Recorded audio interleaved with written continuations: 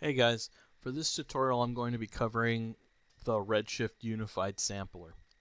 And so a lot of people have no idea how this system actually works and they get confused adding sampling settings, increasing the maximum settings, the minimum settings, and they have no idea how it's really working behind the scenes to actually clean up noise and what's an optimized and efficient way to use it. And so I'll be covering the entire process but first, before I actually show you how to do this in a practical sense, in use and in this example scene, I'm going to cover the background information of what it's actually doing behind the scenes. And so I've made a graphic to cover this that will I'll be adding in a link to in the description so you can download it yourself and read it and go through it all. And I'm just going to skim through it right now, just kind of giving you a background of what the unified sampler is doing and how it works behind the scenes. And so let's open up the graphic. And so pretty much the Redshift uses uh, an adaptive unified sampling engine, which basically means it's being intelligent about how it's firing rays. And so it decides, hey, is this pixel noisy? Is this pixel no longer noisy? Should I keep firing rays? Should I stop? And this is what the adaptive sampling engine does. And so it's actually really efficient to use this. This is what you want to use. There's a more brute force method that you can you you can use, but I, I would I wouldn't because then you lose the advantage of actually using Redshift's um, bias sampling engine. And so the you can the instructions to do it are here. But basically, the most important thing you need to know to have the adaptive sampling engine intelligently working and turned on is you have to make sure that your local samples, and by local samples, uh, that means specular samples, refractions, your lights, ambient occlusion, your brute force GI. So, like when you go into the uh, options settings in your render, I'm talking about the the brute force GI. This is your local samples. Your uh, if you override the the uh, materials like refraction, AO, lights, etc. Or the, the more efficient way to do it in terms of optimization is you click on the actual material, the object with the material, and you increase the samples, for example, for the refraction or for the reflection. And you do this for each material in your scene.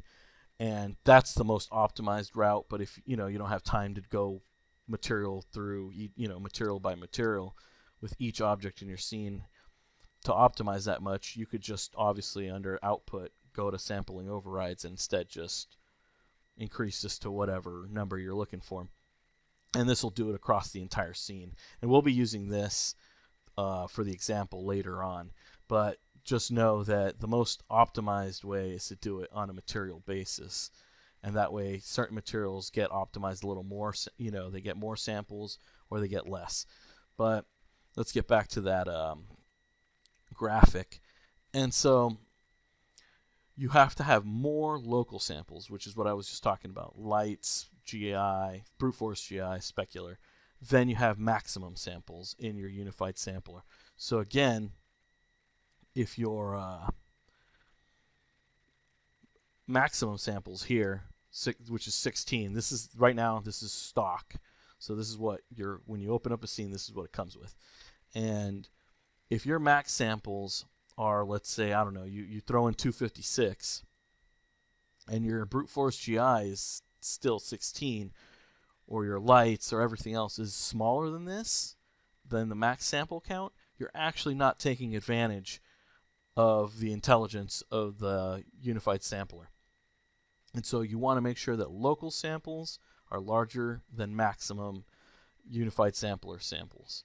And the reason is because the unified sampler settings of the min and max is actually th these two right here.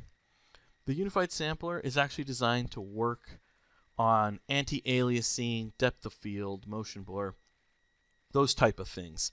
And you want actually your your individual samples on reflection, refraction, these to focus on their own, separate from these. So you shouldn't th these should only be working basically intelligently for AA, stuff like that. While the other samples will take care of reflections, glossy re reflections, specular stuff, you know, refraction. You want these to do all the heavy lifting. and then what's left over, the unified sampling engine cleans up. And so now that we have that squared away, the minimum samples, we're, we're going to go through just certain terms. So minimum samples is the minimum amount of rays fired. Maximum samples is the max. Local samples is, like I said, the local samples fired, like specular, refraction, lights, ambient occlusion, and brute force GI. And then we have another setting, the adaptive error threshold. And so what this does is it, it basically tells it how sensitive the engine has to be. So here's adaptive error threshold. So stock, it comes in at 0, 1. And larger numbers mean less sensitive.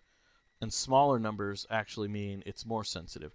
And so how you use this is basically this tells the engine to be more intelligent and sensitive about noise per pixel. So then it, it says basically, oh, this pixel's a little noisier. Let's fire more rays. And then it keeps pushing until it gets to max samples. And so we're going to keep this stock for now. And uh, like I said, I'll be going over how this works later on after I, I describe all the terms.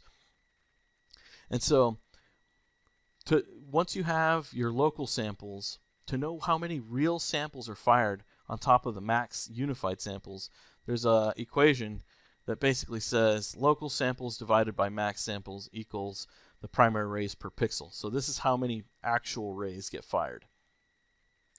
And so uh, I give examples in, in this um, image explaining how it all works. So for example, it, and this is why the adaptivity is actually lower if you have higher locals, lower local samples than higher max samples. So for example, if you have 256 local samples and you divide it by 512 max, you get 0.5. Redshift can't do 0.5, 0.2. It can only do whole numbers.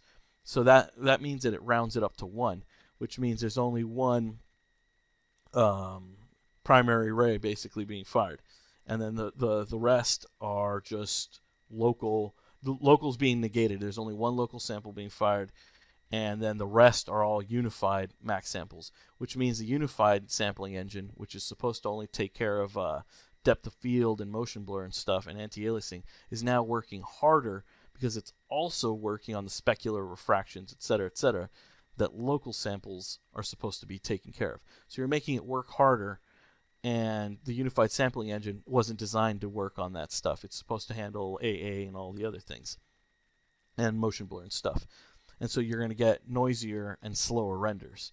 So again, keep your local samples always higher than your max samples.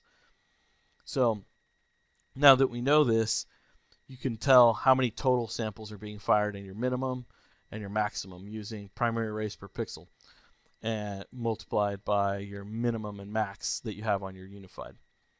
So for example, let's say you have 16 minimum samples 512 max samples, and 1024 local samples. Your 1024 gets divided by your max, and that's 2. So then that's 2 primary rays per pixel. And now that we have the primary rays per pixel, you can then multiply that by your minimum in the unified sampler, and then you get 32. So what's actually happening, your real minimum is 32 pixels total, which is your local samples plus your unified samples. And so then same thing applies to max. And um, what you end up with is you have a, a gradient basically. Redshift will fire now between 32 all the way up to 1024 and how it decides how many you know when to stop is dependent on your adaptive error threshold the intelligence sensitivity basically we were talking about earlier.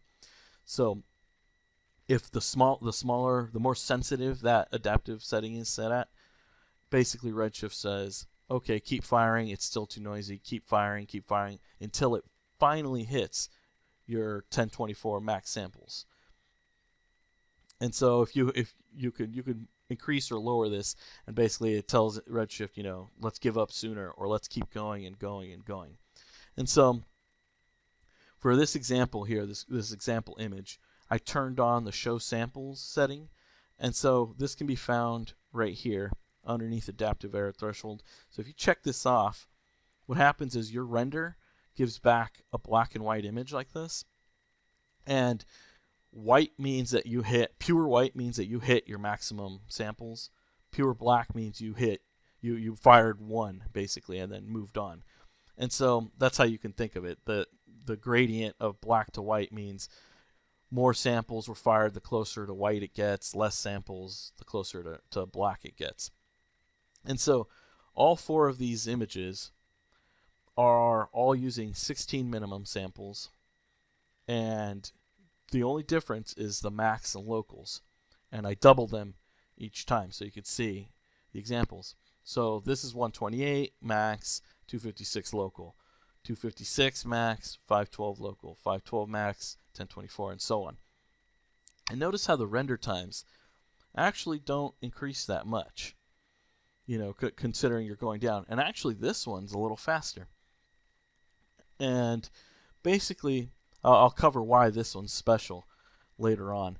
And what's happening is, if you look at the uh, the way the, the the gradient is, notice how this pattern is the same even on this side and even on this side. The only difference is that the value shifted. So the reason that this is happening is you, if you think of this as basically a, a gradient ramp, the 256 image up here is clamped. So let's say this red bar represents, I don't know, what one of these pixels right here, right? This pixel is saying, Redshift is saying, okay, I'm going to give up at, I don't know, 192 samples, you know, and then it stops. And this same pixel, if I were to render it now with a higher max and local, that's double the amount of max and local of the last frame, all it did was basically shift the the the goalpost, the spectrum, the the the scale further. But the adaptive intelligence is saying, oh well, even in this Im- in this image, even though we have more room for 512 samples, all it's doing is the engine is still being smart and saying, hey, we're still going to stop at roughly 192. And then so same thing's happening here. In 1024, if that same pixel is, is fired, all that's happening is that now the goalposts for black and white are now 0 to 1024. So the gradient doubled again, but it's still stopping at 192 samples. And so that's why the uh, patterns look the same and the render time roughly the same. It's because the engine is still being smart about when to stop firing. So even though we have more technically more wiggle room, more space to keep firing. And so that's why this image has a lot more white in it. Basically what's happening is the adaptive engine is firing all the way to the max, which is two, uh, 256 if you multiply um, these by two, which would be the two primary samples per ray. And so what ends up happening is it's hitting its max sooner. And then this image has a little more space, so it's only hitting its max in areas that really need a lot of work, like these little uh, the super glossy reflection, the uh, little rim light here, the the specular. And so as you keep increasing your gradient space, basically the the goalposts of how many samples are available, the overall image is getting darker because this wall isn't getting, you know, it's it's nowhere near hitting the max level. While uh, this wall, even though it's the same amount of samples, for example, right here, 192, this is closer to the max because there's only 256 total. And so that's why it's closer to the white. While on this side, this is barely even, you know, it's still in the darks. It's barely getting close to the max. So, why is this one still slower than this one, for example? The reason is because this is clamping how many samples can it can hit. And so on this side, certain things like uh, little anti-aliasing, like stuff like this, little specular stuff, it redshifts adaptivity is going to say, you know what, this still isn't clean enough. We're going to keep firing. We're going to keep firing. We're going to keep firing. And so we have way more space for it to keep hitting these little tough areas of noise. While on this side, it basically got to 256, which is why it's all white in these areas, and it just that's it. You know, it can't keep um, firing more rays. While on this side, no, instead of being clamped to that, it it keeps going and going and going and going until it reaches its max in these white areas. And that's why it added a couple seconds. But if you were to compare these two, this one's going to have a little more quality in these little areas. But overall, the image is basically identical in, in the backgrounds because the adaptive engine is smart enough to say, you know what, this wall, we're good. We don't need any more here. These little shadows spots right here, we hit enough. It looks good enough for me. You know, and Redshift will just move on. And so moving the uh, adaptive error threshold basically tells it to either be more sensitive about these little spots or less. And so that I'll, I'll be covering how to use that later on. And so that's what's going on here. And basically you use the show samples override that I, I showed a little second ago, this to get that setting going. And that's how you, you can um, basically without seeing the, the, the fancy GI and colors or anything like that, you just get the black and white image so you can say, hey, this spot is hitting more samples or this spot isn't. You know, it lets you basically troubleshoot your noise a little better. And um, so basically, there's another thing going on behind the scenes, and it's the way that Redshift is firing these rays in groups. And this process is called ray sorting, which basically means if you could, you can think of it like this, like um, in the internet, you you send packets of information, little you know bit groups of information back and forth from you know whatever your your, your server or whatever to your computer and back, and the similar process is happening. The uh, ray bundles of information are being fired from the G from Redshift to, to the GPU. The GPU processes them. And so Redshift fires these bundle groups at a minimum of 4, 8, 16, and 32 max. So only 32 rays can be fired at the max per time it, it samples a pixel. And then so what's happening is each time that, that it fires this 32 group or 16 or whatever, as it fires, the more uh, at a pixel, the more times it hits that pixel, the more options the engine, the adaptive engine has to work with. So if let's say you sampled the pixel with only two groups of 32, what ends up happening is the adaptive engine had only two chances to say, should I fire more? Yes, no. If yes, you know, continue. And then it stopped. And so it, it doesn't have enough wiggle room to be intelligent and adaptive about things. And so you actually want 15, 30 um, clusters. You want ray bundles, basically, ray bundle packets, as I, I refer to them, to be fired. And the reason you want this to happen is because then it gives Redshift the wiggle space of, hey, um, we have 32 chances to see if this pixel is noisy or not. So the adaptive engine goes, okay, fires one group of 32, and it says, is it clean? No. Fire another group of 32. Is it clean? No. Fire another group of 32. And it, it continues this process until the uh, adaptive error threshold and the intelligence of the engine says, you know what, the pixel's clean. Let's move on. And so if you don't have enough of these ray bundle packets being fired, the engine doesn't distinguish whether it's clean or not. It doesn't have enough information to go off of. And so here's the equations and how it all works. And basically, when you you fire 32 rays, and let's say the uh, the min and max don't aren't don't work with the 32. So like you, for example, um, where is it at? Let's say you you're one of the equations you don't get a whole number like this example the equation is there's 30, 32 ray bundles which is the maximum size group that rays can be fired at and you have your max samples minus the 32 minimum because we're using 32 as a, as the minimum, and as our, uh, in this example. So then you divide that by the 32 group cluster, and we get 31 ray bundle packets. So that means for 31 times, Redshift can check that one pixel and decide is it clean or not, clean or not, and keep firing. It might decide that it's clean at number 16 or 5 or, or whatever, but 30 it has at least 31 chances to come up with that conclusion.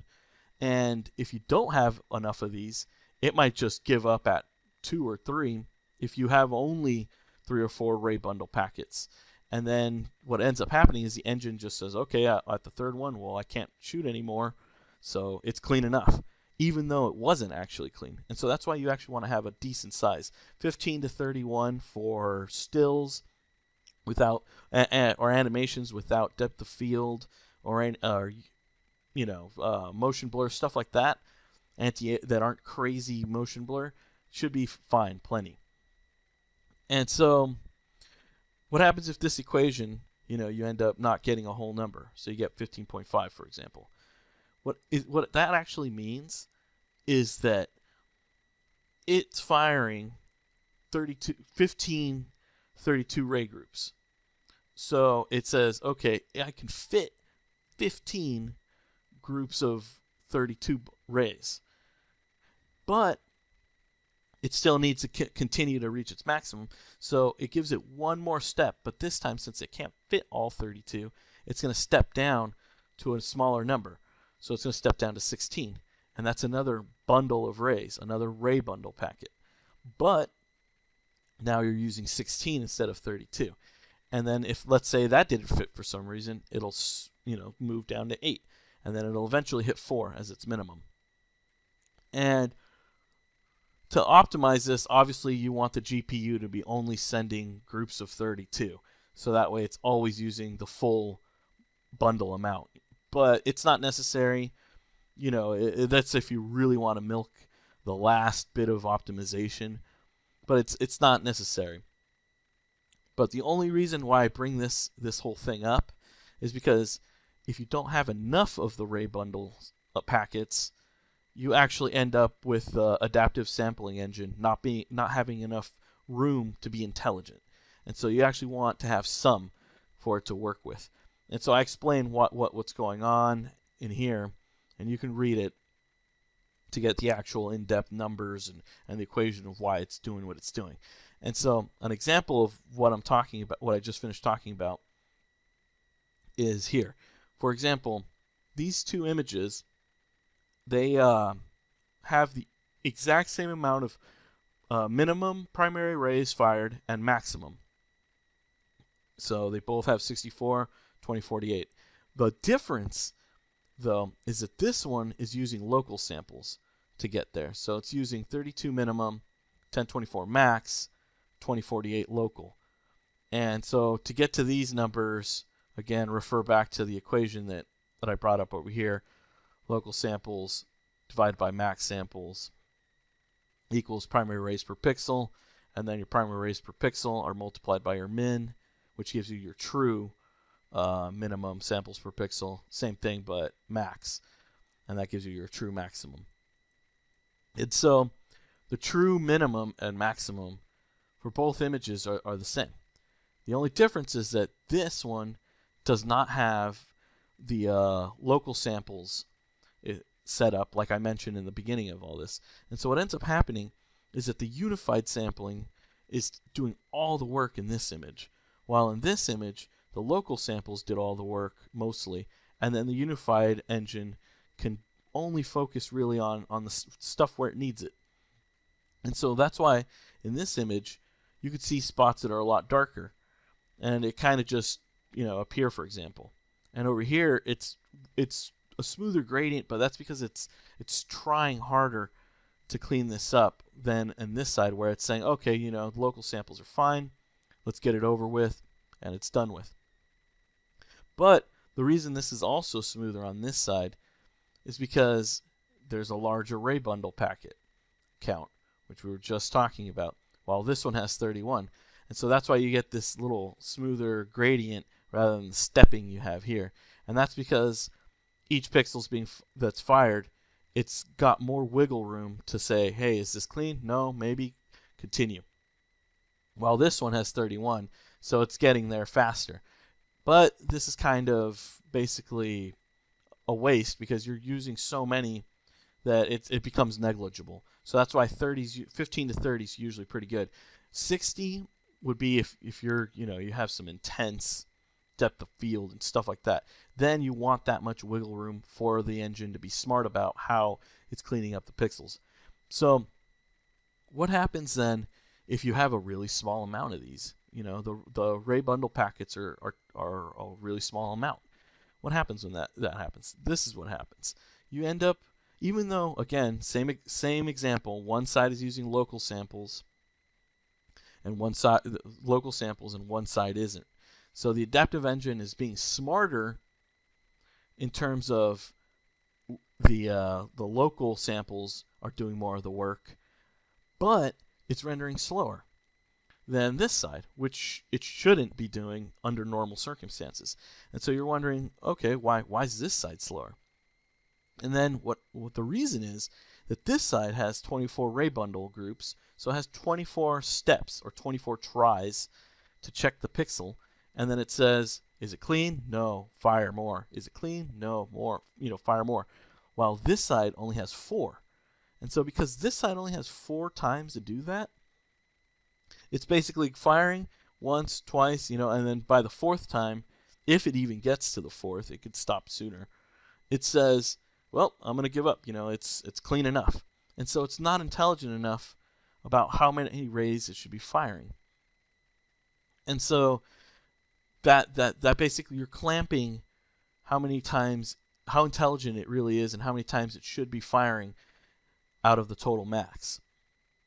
And so while this side has no intelligence in terms of the, the local samples, it has a lot more of these, the Ray bundle packets, to work with. And so it makes the engine overall smarter still. So what you want in, in conclusion, basically, is you want to ha- make sure that the unified sampling engine is doing the work of the aliasing, depth of field, motion blur, and not doing the, the work that the local sample should be doing. And then also, once you do this, you want to make sure that you have a large enough gap. See how the gap for this is only 4 min, 16 max, which is small. That means you could, it can't even fit one uh, ray bundle of 32. You know, and so for this example, to optimize the engine to, so it has more steps, it fires four sets of four, and in, instead of you know, whatever the 24 sets of 32.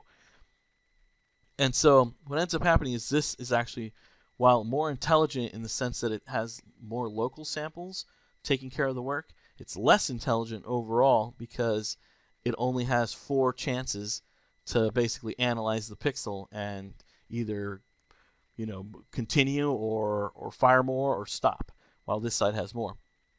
And so the conclusion is basically you want to have enough a, a, a min and a max that are large enough where the the uh, variance between the two numbers are big enough that you actually get a nice sized ray bundle packet like 24 for example. See this is 256 min 1024 max. The gap between the two is large enough that they actually get more ray bundle packets so the the idea here is that you want to have both a good amount of local samples that are larger than your max but you also want a large enough distance. So 16 here would work, 16 and 1024. But you want the, the difference here, the variance, to be large enough so that you also get a larger variance of ray bundle packets. And so this is something to keep in mind. A lot of people make the mistake of having small min and not too, you know, maybe 32 max. And you're actually limiting your ray bundle packets. So it's actually not a bad idea to, if you need, you know, do 256 or 512 and 1024 local samples. If you have enough packets, your the engine is smart enough, again, coming back to this, to say, hey, this is enough pixels for this area. Even though you gave it the option of having a higher threshold of maximum and local samples, it doesn't necessarily mean it's going to go all the way to 1024. It's actually going to be pretty consistent. The engine's smart enough when it's given the proper opportunity with enough ray group counts to uh, basically know when to when to stop firing. And so again, this is why I, I mentioned earlier that I'd come back to this, that why this one rendered faster. It's because if you look at the great ray group count, 3.5, which is really 4, this is really 8, but it's firing one instead of one full all it's 732 ray groups and then 116. And so, like I mentioned earlier, because it couldn't fit the last 32 group. And so the reason this is rendering actually faster is because this one has 15, 16 steps basically to analyze the pixel and go, is it noisy, clean? It's clean? Okay, let's stop. And so this image would actually be rendering faster and cleaner than the previous one, even though the max and the local are lower on this one. And so that's because it has more steps to basically analyze the pixel, and then the adaptive engine decides to either continue firing or not fire. And so that you want to have a balance of a large enough variance and ray group counts. And then that let the engine do its thing. The engine will be smart about how it decides it. And so now that we have that figured out and squared away the, the principles, and like I said, I'll be uploading the the, the image and you guys can download it and, and read it and actually analyze it all and go go in depth about it. You might be wondering, okay, what what how do I apply all this information? And how do I actually make a cleaner image? Using local samples and min and max and all that stuff. So right now, we're just going to go stock. I open this up and we're going to use just brute force, brute force. I won't be covering the different GI engines. That'll have to be a different video. And right now we're just keeping it simple with just brute force, brute force, and 15 bounces because this is an interior. And so we have 16 for max, 4 minimum, adaptive error at stock at 0.01, and no overrides on any of the samples. So if we hit render, we're going to get a render basically really quickly but it's super noisy. Just looking at this, you're, you're, you're thinking, okay, how am I going to actually, you know, clean this up? You zoom in and it's like, wow, it's super noisy. The first step to cleaning this image is you want to get rid of all the distractions. So let's let's just turn off the GI. Let's turn off everything. And let's let's get rid of all the reflections and all, all that stuff and we're just going to stick to in the uh, system settings there's a material override swatch just turn that on and what that does is it's going to turn everything into a diffuse 50% gray so let's hit render now and what you get is no GI no nothing you know you just get your plain old image and as you can see now you can analyze okay there's noise coming right here. There's a bunch of noise over there. And you're keeping it simple. So step one, I would say, is first, let's give, give the unified sampling engine some space to work with. I'm going to just try 16, 256. And that already should at least clean up the image just a tad. So let's save that. Do a render. And already we're getting a much cleaner image just right out of the gate. And the reason is because now the engine has more space to fire more rays. Now it can hit a maximum of 256. And so, and whatever the, the current stock uh, light samples are at. And so if you click on the, the, the light, the physical light we got, we have 16 samples. And so what's happening is, since, like I mentioned earlier, since this is a smaller number than our max, we're defaulting all the work to the unified sampler instead of making it do only the anti-aliasing work.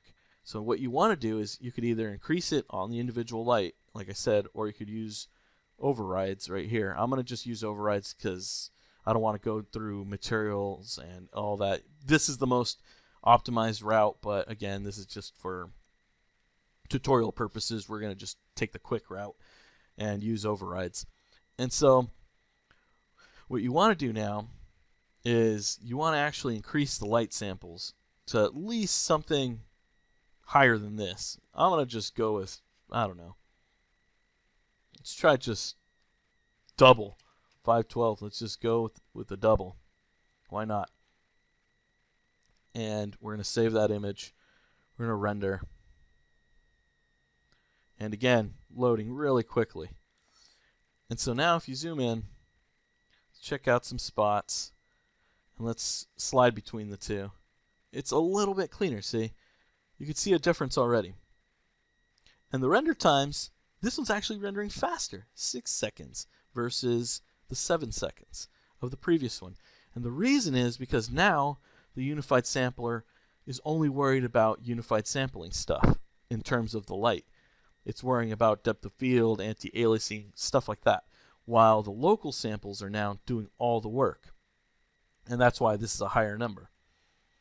And so now that we've got the light, you know, nice and clean looking, the direct light, let's turn on something else. So the next step in this, we're, we're going to turn off our um, material override. So now we're going to get our materials and we're going to do a render. And now we end up getting our specular, our refraction, our reflections, all that stuff. And we're going to zoom in and see how they're doing.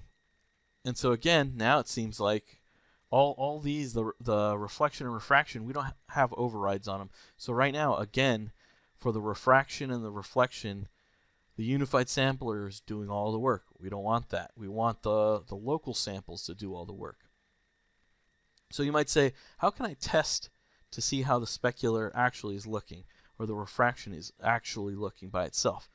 One way you could do this, and hopefully when Redshift gets its own custom frame buffer, it'll be a lot easier to do this process since you'll be able to swap between it, you know, as you're rendering and saving your own images. But until then, you got to do this the, the old school way.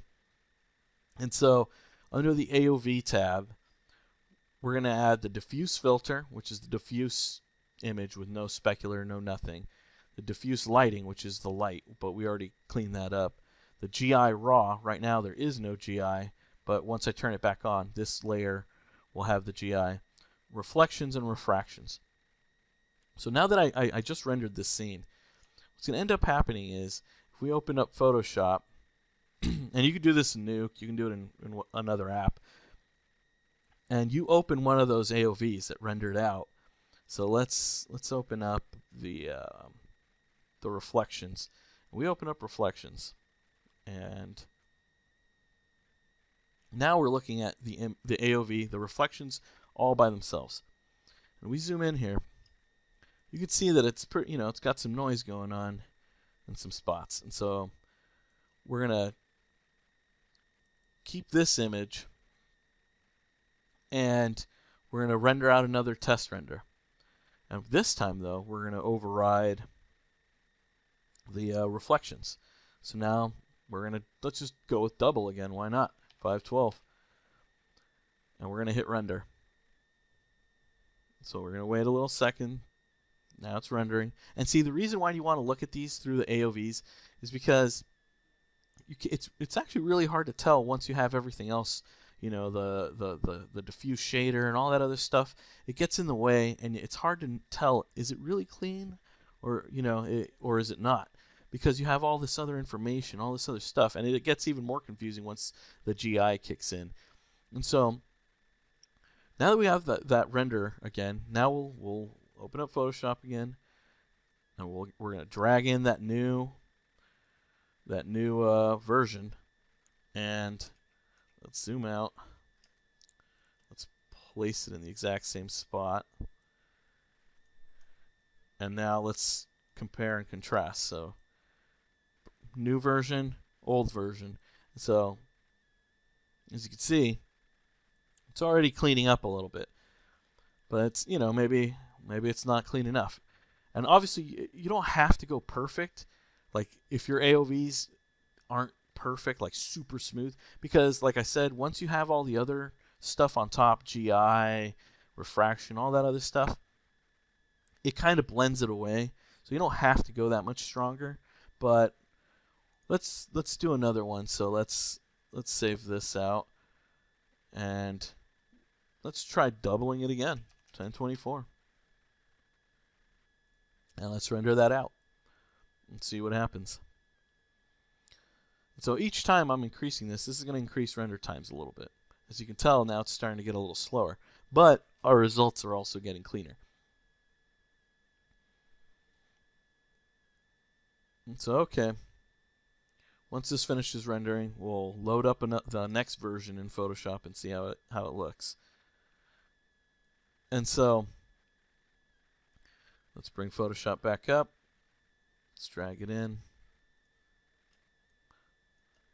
And let's see how it's looking. And okay, it's even cleaner now. Now, obviously, you could keep doing this and, and going and going and going. But if you compare this now to our first version, see, big difference especially on the on these reflections right here. And so let's say you, you wanted to clean this up even more uh, in the end.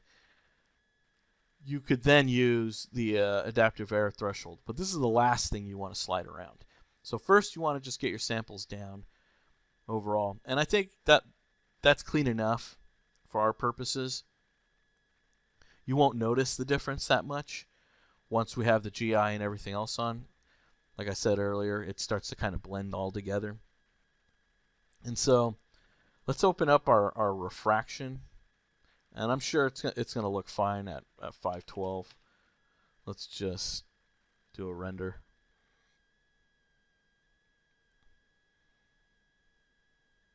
And so for the next render, I'm going to turn GI back on. Let's see.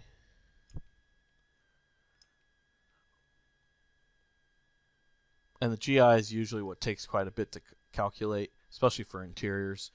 I wouldn't actually recommend using brute force for an interior. I would recommend Irradiance Cache, but since again I'm not covering th those GI engines, that'll be a totally separate tutorial.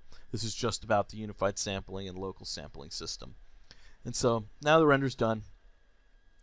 Let's uh, bring up Photoshop again, and we'll we'll close this because we're satisfied with the the reflections.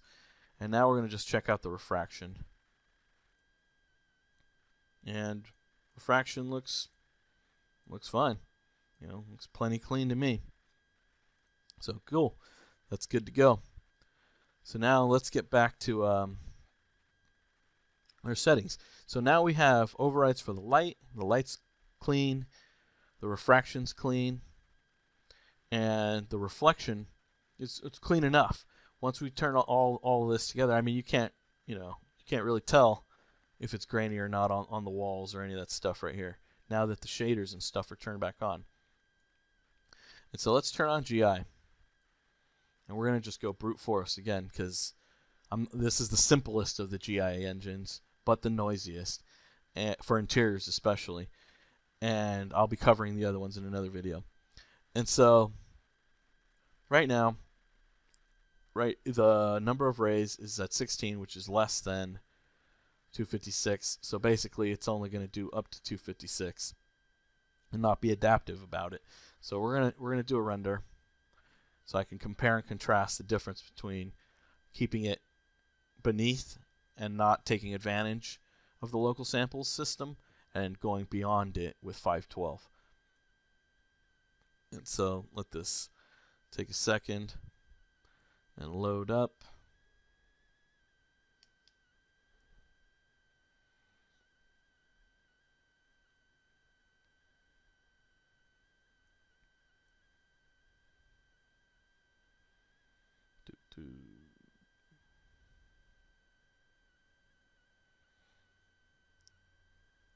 And so as you can see, the, the just turning GI on, since it's bouncing around 15 times because I have it on on 15 bounces, that's increasing the, the render time quite a bit.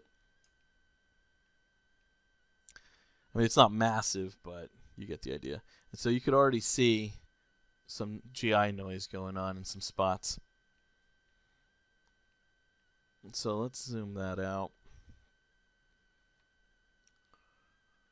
Well, actually, I should probably switch back to uh, smaller bucket sizes. I think I got it at 256. 128 is usually a little better. It depends on on your your graphics card and how much memory VRAM it has and, and whatnot. So that's but that again I'll I'll cover that in a totally separate um, tutorial series. And so it's doing its thing, rendering away. And actually, I'm going to pause this just so I don't waste time since the video is already getting pretty long. So let me pause this. Okay, so we're back after the rendering. And the image took 3 minutes and 36 seconds at 1440 by 810. So we're going to zoom in. And I mean, you know, it's not bad. It's a little noisy in spots and corners. And again, like I said, brute force isn't the cleanest option for an interior like this. It's actually the hardest thing brute force has cleaning up, which is why I, actually picked brute force so you could see the, the differences a lot better. And um, so now we're going to actually go to the GI and we're actually going to turn basically the uh, the samples on so it works the GI instead of the unified sampling. So now we're gonna we're gonna do 512, which is double the max samples, and we're gonna save that. And we're actually gonna open it up in Photoshop so we can see the difference. So here's the GI raw AOV, and here's what we got. So this is the raw GI rendered out, and as you can see, it's you know it's pretty noisy actually when you look at it for what it is by itself. And you, you, you can't really tell, you know, in this image it, doesn't look too bad, and that's just because there's there's all this other stuff going on, the the lighting and everything else, which makes it hard to see. And so now that we've got 512, we're gonna try another render and see how it actually uh, compares. So let's try that out. And I'm going to hit render. Hopefully this one doesn't actually take as long. Doesn't seem like it will. It's already looking like it's going a bit faster. And um, again, the reason why it is going faster is because the unified sampler now isn't doing all the work originally it was doing all the work for the GI. And so now that we have a larger number here than the max, the local sample system is taking care of the GI. And again, for an interior like this, brute force is, is tough because it, it's noisier. It doesn't cheat its way through. Irradiance Cache and Irradiance Point Cloud would clean this up and it would be squeaky clean super sharp and clean and smooth, and probably render in about the same time, if not less. And like I said, I'll cover that in a completely different tutorial because that it, it, there's a whole bunch of other settings and stuff, and this video would get way too long to try to cover all that. And so I will cover one small thing though when it comes to to noise and uh, anti-aliased edges. So you zoom in here, and you look at this, there's this kind of little anti-alias stepping going on. And the reason that's happening is because this light is basically, there's a big plane light behind here. And it's super bright. And so Redshift has a little bit of trouble cleaning up edges where this light is at. And so there's two ways to get rid of well, there's three ways to get rid of this. You either increase the samples of this light a ton, which you know could be a lot slower. You clamp the uh, intensity of the light, which makes it easier for it to to process it because this light intensity is so extreme that it's actually having difficulty cleaning up the the edges where the light is making contact. Or which I would personally do, which is the, the cheapest and, and lightest method, is increase the uh, filtering size or method to either box, triangle, Gauss, Mitchell, etc. And Gauss is kind of like the the middle of the ground. The it's the it's the medium. Mitchell's sharper and it goes sharper down or blurrier up. Personally, I just stick to Gauss. And uh, so, okay, th- th- this image already rendered. And look at the difference in time. I mean, this is 2 minutes and 37 seconds. And this is 3 minutes and 30, uh, 36 seconds. I mean, it's a whole minute. And that might not sound like a lot, but in an animation, a whole minute per frame extra is that's hours. And so now let's compare the noise differences. So we're going to open up the new version. And let's line it all up. And so if we zoom in here and we compare the two, the noise is already a little bit better, but it's not a huge, you know, it's not huge. But if you wanted to clean this up more, we can increase the the uh, GI samples. And since we afforded extra time in just doing this, if we went to 1024, which is you know quite a bit larger, and actually let's uh, keep that open. Let's keep the latest version open so we can compare the two. And uh, let's do another saved render. Let's do another render. So now we doubled the GI samples. And actually, uh, I'll show you what the the filtering does. So since we're getting these little jaggies, the stepping here, we'll increase the filter size. I don't know. Let's type four or three, three point five, three. Let's try three. And so these little types of jaggies that are going on everywhere, we could just process the filtering of the image a little different, and that will actually save us render time instead of increasing samples more than we need them. And so let's do another render. And again, we literally doubled the GI gradient of, of samples it can fire. And I, I can bet you that this is probably going to still render faster than, than it did when the unified sampler was doing all the work. And again, the reason is because you don't want the unified sampler doing anything outside of anti-aliasing, depth of field, or motion blur. That's what this is for. You, you, the unified sampler is supposed to do that type of work. And all your local samples, this is for everything else. You, you want to make these do all the heavy lifting. And then what's left over, your anti-aliasing, motion blur, depth of field, stuff like that will get done by this.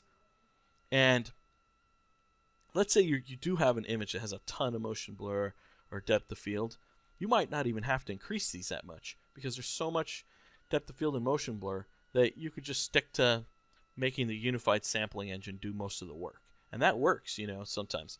But since this image has none of those effects, we want this to do the least amount of work and have the local samples do most of the heavy lifting. And so, you know, the render's coming along. Let's zoom in. And now the GI is even cleaner in this corner. And so now let's zoom into this area actually. And you can see that the stepping got a little better. See, the AA is, is changing. And so this is kind of a way to cheat it. You can basically just increase the filtering so it's a little blurrier in the aliasing, in the way it filters the entire image. And so you could do that, or you could lower the max um, intensity for the light, or you can increase samples. Increasing samples, you know, means slower renders. So I'd rather just go with uh, the filtering size, and it's good to go. And personally, I feel like a, a little softer filtering gives the image a little more of a photographic look. When it's super sharp, you know, it kind of feels too digital. It's too clean. So I personally like a little higher filtering. I usually at least use three, sometimes four. And so, okay, render's about to finish. And again, look at this. We got 2 minutes and 35 seconds. And the last frame rendered a little slower. So why is that? And this is going to have to go back to basically, I'm going to assume what we were talking about with the uh, the Ray bundle packets. So basically, I'm sure this one has a little more steps because we gave it a, a larger, um, basically group to work with, so the gradient's a little larger. So even though the engine's smart enough, it says, you know, we're going to stop at X amount of noise. It's smart enough between both two both images, but this one has probably a couple more steps, so it's able to figure out when to stop or when to keep going a little sooner. And so, cool. We got double the the uh, GI rays, and we got a, a second or two more time, you know. And so, let's check out the difference. So, we're gonna open up Photoshop again, drag that in, and let's zoom in here. And it's still noisy, but you see, it's already cleaning up. Quite a bit, actually. It cleaned it up quite a lot. And so you could keep going, you know, cleaner and cleaner. But at this point, you know, when you look at it as a whole together, feels plenty clean to me. You know, if you if you wanted to really clean this up, you'd use a Radiance cache. But you could add more samples, so you could, you know, double this again. It's, you know, 2048 and keep going and basically checking the uh, GI in Photoshop or Nuke or whatever, and just making sure that the the AOV is looking good. The pass is like oh, okay, it's a little cleaner, and then you know you decide when you want to stop. That's one way of doing it. But let's say we're satisfied. We're we're satisfied with okay, 1024 max and 1024, 512, 512 for our other local samples and our minimum 16 and our max 256 for unified. So this is where the adaptive error threshold comes in. We've left it at stock this whole time. And so here you can now that you're you're satisfied with all your samples across the board, you can actually speed up your render for VizDev purposes or slow slow it down and get a cleaner image by adjusting this now. Now you can leave everything else alone. So let's say I increase this to point point one, you know, so we're gonna go up quite a bit. Point one. We're gonna get a way faster render because now the engine is saying, you know what, it's clean enough sooner. It's not as uh, sensitive to noise. And so it's going to be a noisier image, obviously, but it's going to render quite a bit faster because now the engine's just saying, eh, it's clean enough, move on. Clean enough, move on a lot sooner because its sensitivity is is not as strong. So here we go. You zoom in, and it's a lot noisier, but it's also rendering a lot faster. And so, let's say now we wanted a cleaner image than we had previously, than this one. Instead of actually going in there and adjusting each thing, you know, like the GI and all that by itself, we can just make it more sensitive to noise on a per pixel basis across the board, across the whole image. And so all we got to do is drop it to lower than we had it before. So it rendered at 45 seconds, and as you can see, it's quite a bit noisier, you know, compared to the last one, but 45 seconds, you know. And so let's actually make it more sensitive this time around. And so, uh, and actually, well, let's check out the GI again because now you'll get to see the difference also in GI. And so yeah, it, it the adaptive error threshold affects everything, and so now it's you know it's a t- way noisier. And so again, bigger numbers means it cares le- less about noise. It's not as intelligent. So 0.8, this is going to just be super noisy. and it's going to render, you know, just boom, boom, boom, boom. It's going through it. And obviously, you know, crazy noise. And let's uh, cancel that actually. So let's say now we wanted a cleaner image. Let's go to 0.003. You know, and this is tiny. This is actually where I would say once you're ready for your final render, 0.003, 0.002, that's usually, you know, a good range. You can go, you know, right now our, our image was still pretty clean at the stock 0.01 and the reason is because we actually figured out nice local sample settings for everything else. But if we go a little smaller, we should get a cleaner image. So let's go to point 0.03 and this is going to increase the render time, I'm sure, maybe double, but it's also going to make a way cleaner image. And the reason being, again, because now it's a lot more sensitive about the noise it detects. And that's what this controls noise detection, basically. Sensitive on the low end, not sensitive on the high end. And again, this is using brute force. I would use Radiance Cache for an interior like this, and it would just be way cleaner. We probably wouldn't even have to go this low on the adaptive error threshold, and we probably could have stuck to 0.01, and it would have came out just as clean. And so let's zoom in here and do a comparison. And so if we switch between the two, you could already see some noise compared to where we had it before at 0.01. And then you go to, oh, let's go somewhere else. It's a little noisy. Yeah, I guess this area. And you swap between the two, and you can see some more noise pop up. And this this one was using 0.01.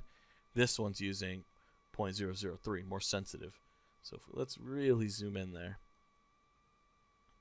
And you see little little noise artifacts. Swap back to the the high the more sensitive adaptivity and it's way smoother of a gradient. So that's basically what that does. And as you can see, in being more sensitive to noise and detecting it, it also increases render time. But it allows you to keep your sampling settings, you know, where you had them, where you were happy with and then you just basically told it, you know what, be more sensitive about the noise, or be less sensitive if you wanted faster renders to while you're you know moving stuff around or checking out shaders or whatever. And so I don't recommend going this low until you're you're you're done. You know, you're gonna do your final render. Drop it down to something like 0.002, 003, and just let it do its thing, and you'll get much cleaner renders with the added, you know, render time. And so I'm going to pause this because I don't know how long this is going to take, and then we'll get back to it so you can see the difference. And then we'll look at the differences of the GI, for example, the pass. And uh, so let's pause this. So the rendering's done, and again, this is quite a bit slower. It's up to six minutes now because the adaptive error threshold is a lot lower. And so now it's being a lot more sensitive about noise. And so if we zoom in to this corner, for example, it's a lot cleaner than it used to be when it was right here, when it was rendering at 237. And so you could just, huge difference. You could already see it, even on the wall right here and stuff. And so that's how you could control how sensitive you want the uh, engine to be basically sampling noise. And so if we uh, check out the GI raw, let's bring in the newest one. I mean, just look at that huge difference. Zoom in right here, and look at that. That's what what it's doing, and it's not just doing this for the GI.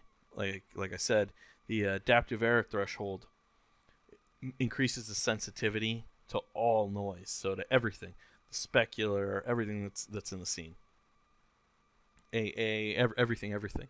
And so this is a good slider to then once you're satisfied with your um, sampling and your min and max and all that. Once you're satisfied, you could just slide this up or down to control how how you feel about noise and render time. Like let's say it's like, oh, this is you know it's nice and clean, but I don't want to wait this long, and I don't mind a little more noise well then you know just make this 0.005 or 8 or, or back to 0.01 you know and then that let this lets you control that and so your settings are still the same across the board all you're doing is saying i want a little more noise you know and uh, for faster renders i don't mind. Or you can decrease it and say i really want you to attack all the noise more intelligently and and be more sensitive about it. But you know with the added cost of it has to fire more rays because it's more sensitive about things. And so that just about covers everything. And again i'll be um, linking the image and I, I, in the future i will be covering the different cache engine the Irradiance cache and all the other gi options and the number of gi bounces and whatnot and for example, th- this actually changes render times a lot because it's making the light rays bounce 15 times. So like if I brought this down to the stock, which I believe is 4, and let's just save it, and I hit render, I'm sure this is going to render a lot faster. But it's also going to lose um, light in the room because it's not bouncing around as often. And you know, sometimes you don't need that many. I just use the max for this example just because if you drop this down, I think three or four is the uh, what it comes with automatically. And so if you bring it down to four, let's say your scene didn't need that many bounces, like so you know, as you can tell, it's already rendering way faster because the lights don't have to bounce as often, which add more basically more render time because it's processing more bounces. We go through between the two. Man, they're they're both almost identical, except th- though the one with more bounces, you see more of that reddish, pinkish hue, and that's because it's picking up it the the GI is basically picking up the bounce light off the floor, and so in this version, it's not as uh, prevalent because it's not bouncing around as often again. See, so but it's it's subtle. So you know, for depending on your image, just keep that in mind find the sweet spot where you feel like, oh, the GI looks good enough. And if you don't need more, you know, don't bother with it. And because it, it does add quite a lot of render time. And so this just I figured I'd bring this up just because it, it relates to render times and and sampling and how things can take a little longer. And so just um, keep that in mind. You know, if, if you don't need the GI to be, you know, splashing color back from the walls and everything, all nice and GI like. you don't have to do it, you know, and it'll save you a lot of render time, even though all the other local samples and settings are, are exactly the same. And whether you increase it or, or decrease it dictates more render time or not. So I'll pause it and we'll compare the two just so you can check them out. So the render just finished with four GI bounces, and we got a time of 431. So compared to the six minutes and four seconds we got when we have 15 bounces, you know that's a quite a lot of time shaved off. And so if you swap between the two, it's a really subtle difference. And I mean, but you could you can notice it. You know, it's it's in there. So like let's let's blow this up and swap between the two. See, you get more of the, the, the red hues bouncing back and hitting the back the shadowed parts, the ceilings, the walls. On this on the on the 15 bounce version. See, it's subtle, but it makes a difference. And so if you you know you're going for maximum realism or whatever, uh, then yeah, go I'll go for it. Sometimes we're just doing an animation, and you know, doesn't really matter. it's subtle enough that it, it doesn't, you know, you're not going to notice it, then by all means, you know, cut back on the GI bounces and save yourself some render time. And so, but that's something, a setting to keep in mind if you're trying to cut back on render times or if you're trying to get that nice glow going on of all the GI bounce lights. And so, yeah, this video basically cut, you know, covers all the local sample information you need and how the unified sampling engine works. And so to recap, basically just remember you want your local samples. that you can override as a whole throughout your image or individually on each individual light or and material to be larger than your max samples and to use the adaptive error threshold to control how sensitive the uh, engine is to noise levels. So lower means more sensitive, higher means less sensitive to noise. And that about covers it.